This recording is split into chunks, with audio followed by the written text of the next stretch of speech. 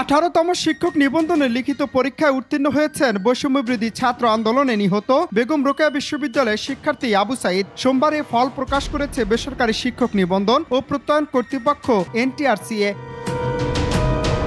পরীক্ষা আবু সাইদের roll number ছিল দুই শূন্য এক দুই পাঁচ ছয় দুই নয় সাত। ফল প্রকাশের ওয়েবসাইটে দেখা যায়, বাংলা ও ইংরেজি দুই বিভাগে শিক্ষক হিসেবে উত্তীর্ণ হয়েছেন তিনি। ফল প্রকাশের পর ফেসবুক আবেগন স্ট্যাটাস দেন বিশ্ববিদ্যালয়ের বাংলা বিভাগের শিক্ষার্থী ও আবু সাইদের সহপাঠী শামসুর রহমান সুমন।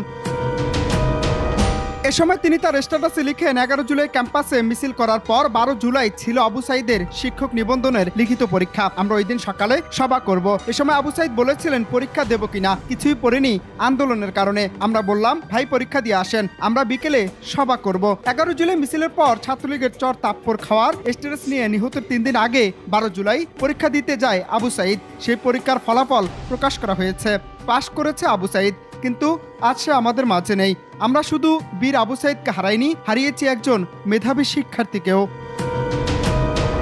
তবে গত ষোলো জুলাই বেগম রোকেয়া বিশ্ববিদ্যালয়ের সামনে বৈষম্য বৈষম্যবিরোধী ছাত্র আন্দোলনে পুলিশের গুলিতে নিহত হন আবু সাইদ। তিনি বেরোবির ইংরেজি বিভাগের দুই হাজার উনিশ বিশ সেশনের শিক্ষার্থী ছিলেন এবং এই ছাত্র আন্দোলনের অন্যতম সমন্বয়ক ছিলেন।